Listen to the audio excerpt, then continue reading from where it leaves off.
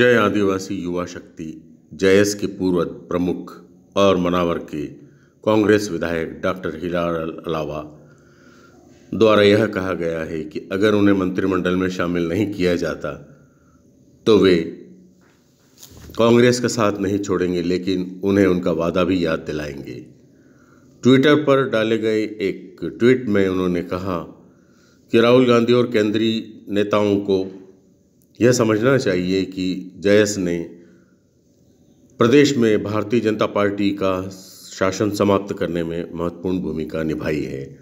जयस 80 सीटों पर चुनाव लड़ने की तैयारी में था और कांग्रेस नेताओं के आश्वासन के बाद एक सीट पर समझौता किया, वह भी इसलिए ताकि सरकार में शामिल होकर आदिवासी वर्ग के लिए बेहतर कार्य कर सकेंगे। लेकिन मुख्यमंत्री कमलनाथ से जब चर्चा हुई तो उन्होंने कहा कि पहली बार के विधायकों को मंत्री नहीं बनाया जाएगा। डॉक्टर अलावा के अनुसार वे कांग्रेस के साथ रहेंगे। देश के पंद्रह राज्यों में जयस का नेटवर्क है। आदिवासी इलाकों में जयस बेहद मजबूती के साथ खड़ा है। यदि जयस के प्रत्याशी मैदान में होते तो क्या कांग्रेस उन इलाकों से जीत पाती?